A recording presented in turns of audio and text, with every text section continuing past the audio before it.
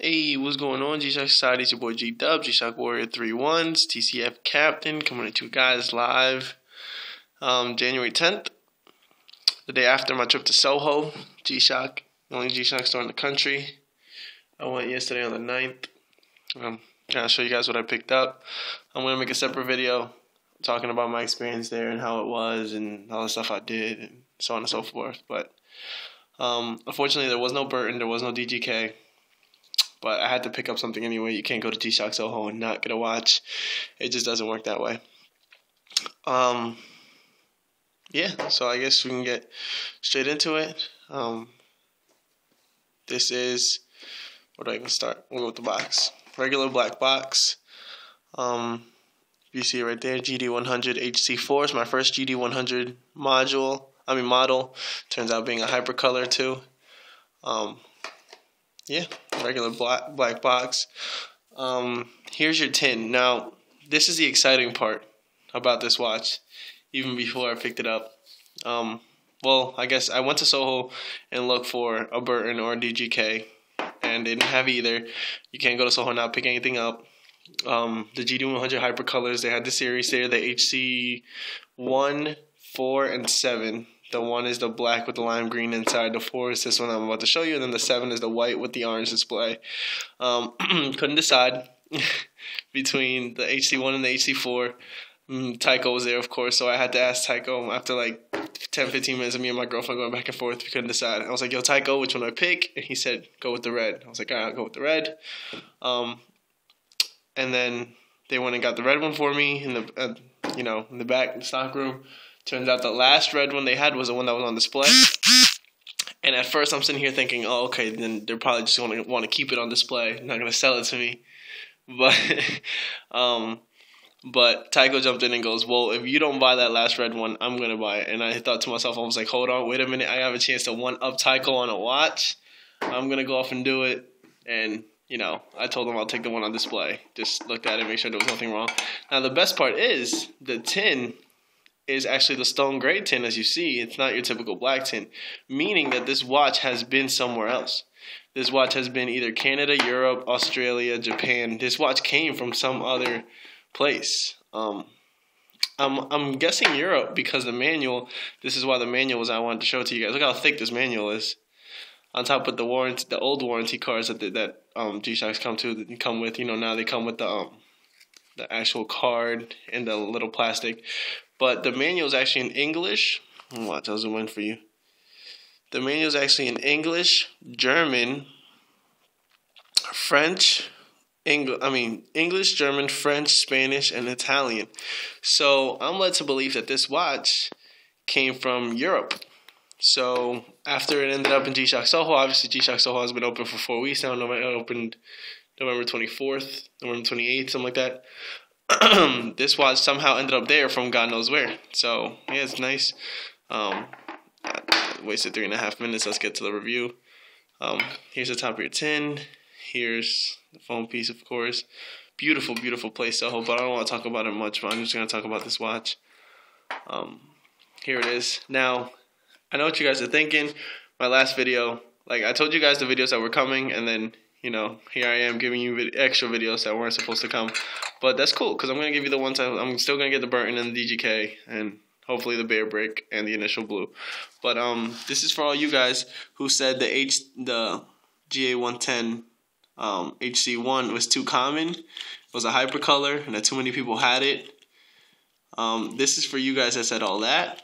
Go on and tell me many people have this because this is not a watch many people are willing to wear. Yeah, did you see that backlight? We'll get into that in a little bit. But let's go into that watch segment. Let me turn this flash on real quick. Let's get into that watch um, veteran segment and show you guys this piece up close and personal. And let me know what you guys think.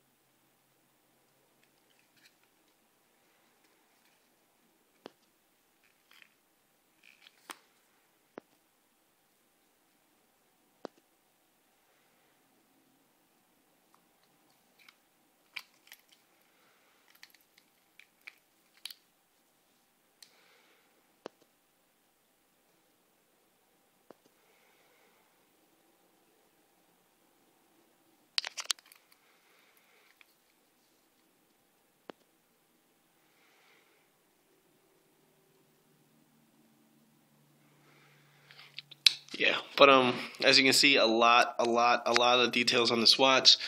Um, let's start off with the fact that it's really, really glossy, speckle red paint.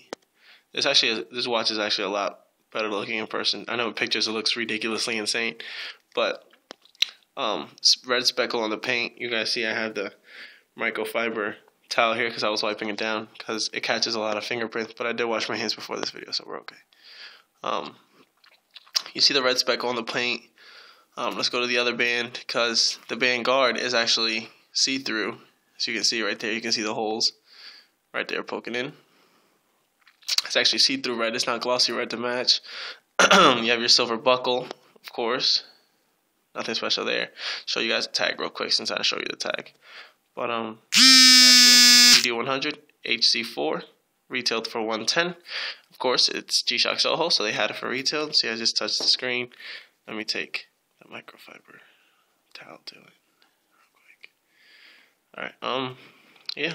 Uh, it retailed. Actually, they're not going to sell it for anything more than retail. It is G-Shock. Um, and then here we go with the bezel where most of the information on this watch is. Um, you got black writing on the adjust mode, reverse and forward. Um, you got the orange buttons on both sides with that um, rigid look that the GD100 and GA110s have. You can see right there. See that? Yeah. And then you have um, G-Shock up top written in blue. A nice deep, more royal blue than anything else. Protection down low written in lime green. Um, and then you go to the actual display where you got the GD100 is a really basic watch. Um, it has more modes and alarms than your 6900. This has five alarms, one snooze. Um, it has world time, of course. I should see the time here set. Um, I never done. Oh, actually, I did the review on the Nigel, but I know a lot more of GD100s now than I did then. But um, you see that eye in the middle, the little one, the one on the left, shows you the tens in seconds, and then the one to the right counts the ones. Similar to this would be what would be the um, two left eyes of a 6900 put in one, and then that would be your 6900 right eye. Um, if you're looking at a solar 6900, then this would be your right eye.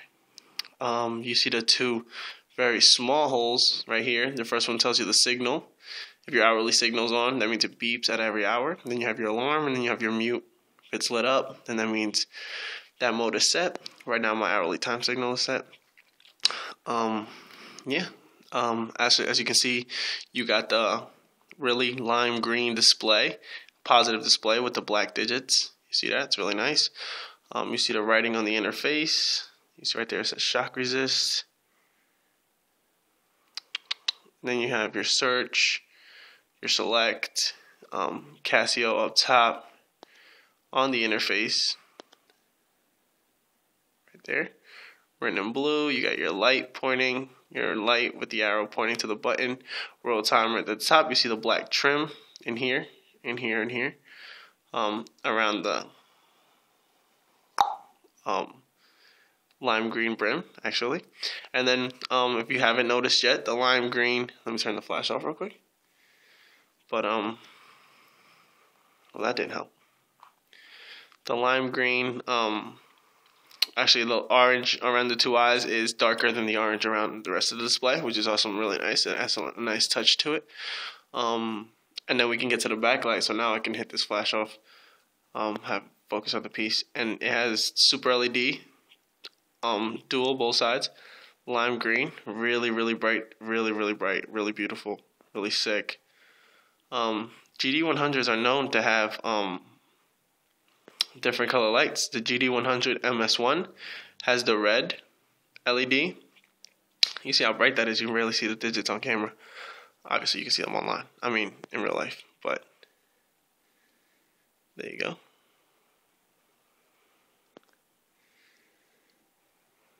Let's see if turning off the light helps.